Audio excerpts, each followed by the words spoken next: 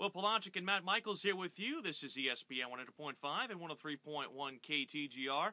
Well, the NIT is where the Tigers will conclude their season, for better or for worse.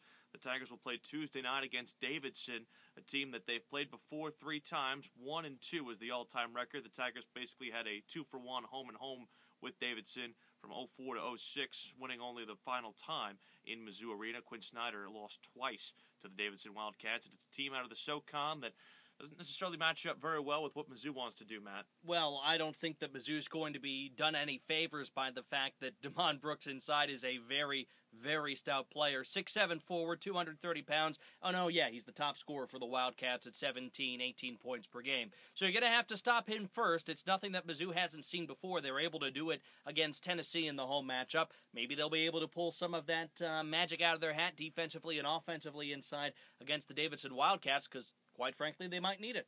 Also, a team that shoots the three ball very, very well. Also, very, very well in transition. Frank Haith mentioned those parts of the game as the fact that it could be something that they need to keep an eye on, and it really hasn't something they've done very well at all season. Both of those areas. Well, the three point defense is something a lot of people stick on, and if you see Davidson starting to try a lot of three pointers, don't be surprised simply because that's what teams have been doing to Missouri down the stretch run here.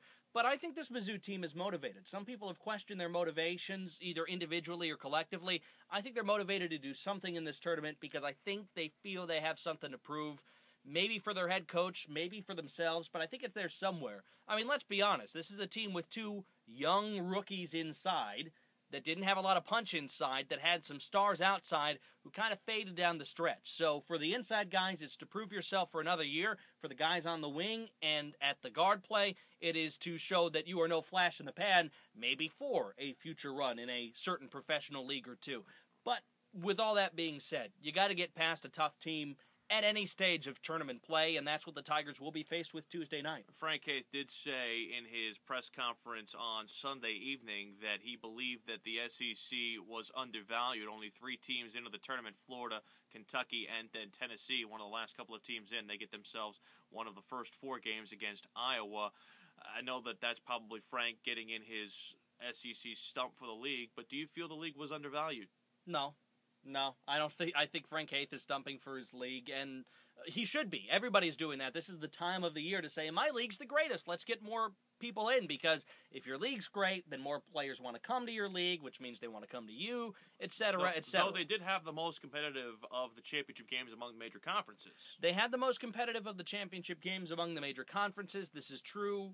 However, with all that being said, I think that the SEC brand of basketball maybe was down a little bit, or maybe Took they a- just maybe they just all beat up on each other. It took a major hit this year to be concerned, and I think. I mean, the A10 has six teams in the dance. Well, here's the thing. Mike Slive did say before the season we want to schedule a lot better, but I think that that ended up killing the SEC as far as the teams not being ready to play as strenuous a non-conference schedule as they probably needed to in order to compete. Well, you're going to have to learn sometime. I mean, you can only do it by scheduling really good teams. I mean, look at this Davidson team that's coming up. They beat Georgia pretty handily in the early part of the season in the non-con, and then Georgia ends up being a better team down the stretch. Maybe because of experiences like that. We don't know. We know that if Mizzou would have had a tougher strength of schedule, they would have been in more conversations, like that NC State team they beat that found a way to make the tournament, which I know you are just so thrilled with. You could see the look on his face right now. Look at that. He is nonplussed, to say the least. Fact I'm, of the matter, puck- I'm puckering. fact of the matter is, Mizzou played some teams. Yes, they always have that game against Illinois to fall back on in years when Illinois is good. Sorry, Illinois. Eh, it wasn't so hot this season. But I mean, you could always say that about your teams, and you need to have a good team to really schedule tough outside of your conference. I think, and this Missouri team is just on the edge of good team, and you need very good and great and excellent to be able to make the dance, and they didn't. Winner of this game could possibly take on Southern Miss or Toledo in the second round of the NIT.